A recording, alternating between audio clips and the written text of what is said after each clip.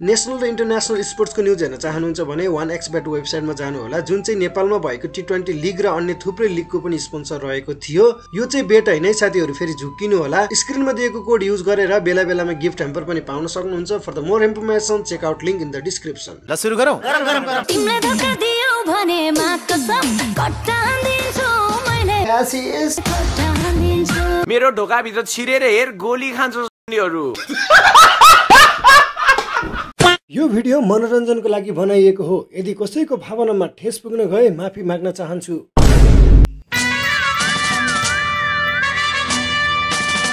के तपाईँहरूलाई नेपालमा प्र्याङ्कको सुरुवात कसले गर्यो भन्ने कुरा थाहा छ? खै मलाई थाहा छैन त्यही कुरो। यदि छैन भने हेर्नुहोस् यिनै हुन् नेपालका ठुला प्र्याङ्किस्टरहरू दस वर्षभित्रमा यो देशलाई चाहिँ दक्षिण एसियाको त सबभन्दा अगाडि लान्छौँ लान्छौँ।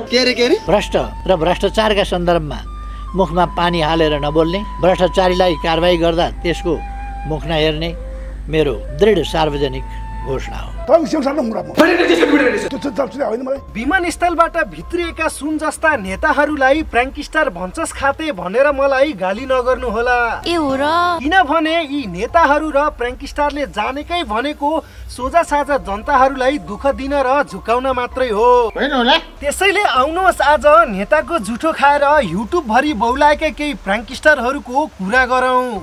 मैले लिएर आएको थियो कन्डम प्र्याङ्क अन पब्लिक है? सो त्यसको रियाक्सन हेरौँ के कस्तो हुन्छ। हेलो एक्सक्युज मी टकटी सानिदिनु नि। यसरी। लिनु। यो यस्तै खाली मान्छे हो जसले कन्डमलाई चक्लेट भनी खान्छ। यस्तै गर्दै जान अझै कुन्चाइले तँलाई गेडा सुन्निने गरी हान्छ पक्कै पनि माथि चाहिँ एकजना त्यो दिदी या बहिनीको हुनुहुन्छ होइन आइराख्नु भएको छ। म चाहिँ घर लुकिहाल्छु। आज चाहिँ मुर्रावाला हान्नेवाला चाहिँ होइन हेरौँ। कस्तो हुन्छ रियाक्सन कस्तो आउँछ है त। ए प्रचण्ड सरकार यो मुर्खुट्टेलाई घन्टाघरको टुप्पोमा लगी बाँधेर अड्काउ यस्तो प्र्याङ्क गर्नेलाई दिदी झुरुक्क उठेर झ्याममा मुख पड्काउ आजको शीर्षक रहेको छ भेटियो सामान चोर है? सामान चोरेर भागिसकेपछि होइन पब्लिकहरूको रियाक्सन कस्तो आउँछ।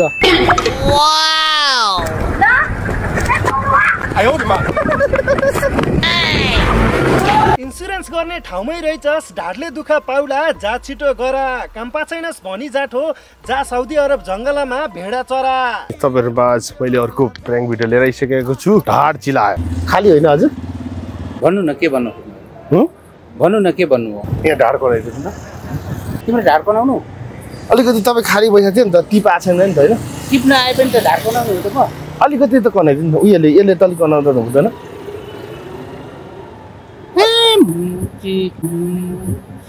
राष्ट्रिय गाली दिनुभएकोमा काकालाई सम्मान स्वरूप ताली। यतिले यसलाई पुग्दैन दिनु सजै साकारले चाहिँ गाली। ओए माछ। प्र्याङ्कको नाममा कहिले पनि दुःख नदिनु अरूलाई। यी त थिए सडक छाप प्र्याङ्क स्टारहरू अब कुरा गरौ घरपालुवाहरूलाई। अब मेरो बुढीलाई चाहिँ खामसाङ गरेर आइसक्यो भने चाहिँ उसलाई अलिकति केही कुराहरूमा अल्झाएर चाहिँ उसको ब्याकमा हिट गर्ने होला चुकाइ चाहिँ। के भएको हो तेरो बुद्धि हो? घाँडे नै गुडेको प्र्याङ्क गराउन तलाई कहाँबाट आयो जागर? बिचरीलाई त्यसरी पिट्न भन्दा बरु हग्न लगा अनि तैले आगर। हँसाउनुहुन्छ यार दाई पनि। हेलो साथीहरू। आज चाहिँ म तपाईँहरूलाई यस्तो खतरा प्याङ लिएर आउँदैछु कि यसको प्यान्टीमाथि म खुर्सानी लगाइदिन्छु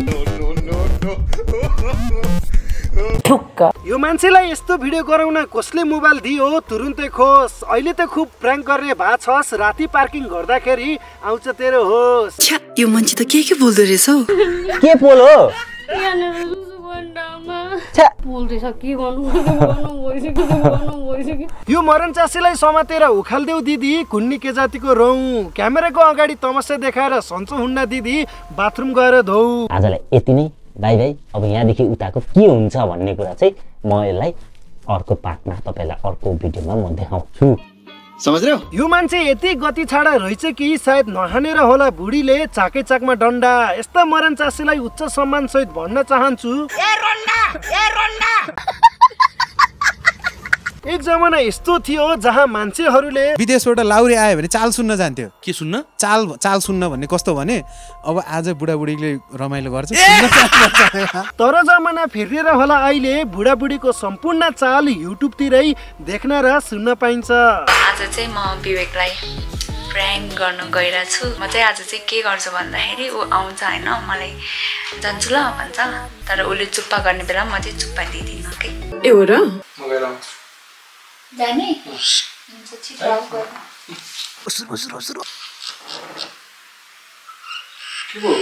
के भएर? जाउँ न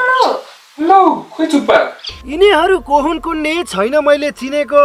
यस्तै देख्न होला मैले भैँसी बेचेर मोबाइल फोन किनेको। नेपालमा जति पनि बुढाबुढी प्राङ्क स्टार छन् नि यी सबै क्यामेरा ब्लाइन्डनेस रोगले ग्रसित छन्। तँलाई कसरी थाहा भयो? किनभने दिनकै प्र्याङ्क गरेर सयौँ भिडियो हाल्दा पनि न त यिनीहरूले थाहा पाउँछन् न त क्यामेरा नै देख्छन्। खींचेको? खींचेको? भाई साहब कुछ ज्यादा नहीं हो गया ये? मतलब कुछ भी। तपाईँहरूले विश्वको जुनसुकै कुनाबाट पनि पार्सल गर्न चाहनुहुन्छ यदि त्यसो भने रोयल नेपाल कुरियर्सलाई सम्झन सक्नुहुन्छ। जुन चाहिँ एकदमै जेन्युन अनि भरपर्दो रहेको छ जसबाट चाहिँ मैले स्वयं आफ्नै लागि अस्ट्रेलियाबाट आइफोन मगाएको छु त्यसको अनबक्सिङ भिडियो पनि मैले छिटो अर्को च्यानलमा हाल्ने छु so for the more information check out the link in the description अब चाहिँ बुढोलाई चाहिँ म के भनेर प्लान गर्छु भने म चाहिँ प्रेग्नेन्ट भएँ भनेर प्लान गर्छु क्या। ए भगवान हेर्नुहोस् न यो कलियुगमा कस्तो आयो दिन। मन्दीले गर्दा पसल नचलेर होला। बिचरी बहिनीले कोठा भाडा तिर्नलाई भयो नि प्र्याङ्क गर्न बाध्य छिन्। होइन मजाले हेर्नु त यी यस्तो हुन्छ। नेगेटिभको यो एउटा मात्र हुन्छ पोजिटिभ भएपछि यो दुइटा हुन्छ के? कस्तो नपत्याएको तपाईँले? यस्तो कुराको ज्ञान बहिनी छोरा मान्छेलाई कहाँ हुन्छ? कसरी विश्वास गरोस् त बिचराले? बन्दुकबाट गोली चल्यो कि नै त्यो कुरा सिकारीलाई थाहा हुन्छ। ए हो र। त्यो पाराले चाहिँ म पुरा भिडियो बनाउने आज होइन? सो त्यही भएर आज प्र्याङ्क गर्छु म बुढलाई होइन? म बुढलाई होइन बिहे गर्ने उमेर कटिसक्यो भनेर मैले ब्रह्मचारी हुनलाई धारी कपाल पालिसके प्र्याङ्क गराउनै पाइन्छ भनेर होला आजभोलिका बुढाबुढीले नि बिहे गर्न थालिसके। लड़की में का दम था जनाब हमें तो शराब ने डुबाया तू क्यों देख रहा है? गर्लफ्रेंड है? है तेरे पास? मको थाहा छैन हेर्नु न यो भाइको गतिलारी धारी जुङ्गानी आ छैन। त्यसरी नपिटन बिचरालाई बिहे गर्ने उमेर कति हो त्यो त थाहा छैन। कसम युट्युबमा पनि के जाति वेबसाइटमा चाहिँ सर्लक्कै भिडियो हाल्न मिल्ने भए यी प्राङ्क स्टार बुढाबुढी भनाउँदाहरूले त्यो पनि बाँकी छोड्थेनन् होला। यही नहीं किन लुगा लगाउनु? किन लुगा लगाउनु? नलगाइ मेरोसँग लुगाहरू।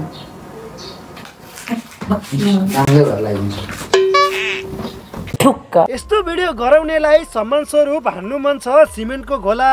युट्युबले पनि यस्तो भिडियो देख्यो भने पक्कै यस्तो भन्छ होला। म को हुँ त्यो कुरा बिर्सिलिस् बिर्सिलिस् रे मुजी खाते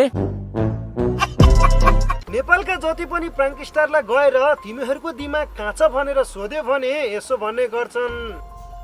यहाँ है। के छोप्न खोजेको? बरु म यो जाडोमा नाङ्गै भएर बरफमाथि सुत्न सक्छु तर अब यो भाइरस न त हेर्न सक्छु न त रोस्टै गर्न। त्यसैले आजको लागि यति नै। तपाईँहरूलाई यो एपिसोड कस्तो लाग्यो यदि राम्रो लागेको छ भने लाइक सेयर कमेन्ट अनि सब्सक्राइब गर्न नबिर्सिनु होला हामी छिटै भेट हुनेछौँ अर्को नयाँ एपिसोडमा। त्यतिकैसम्म सावधान रहनुहोस् सतर्क रहनुहोस् र अर्को कुरा मैले यहाँ रोस्ट गरेका व्यक्तिहरूलाई कसैलाई पनि गएर हेट नगर्नु होला यो सिर्फ इन्टरटेनमेन्ट पर्पजको लागि हो। उनीहरूले पनि इन्टरटेनमेन्ट गराइरहेको छन् अनि मैले पनि इन्टरटेनमेन्ट गराइदिइरहेको छु।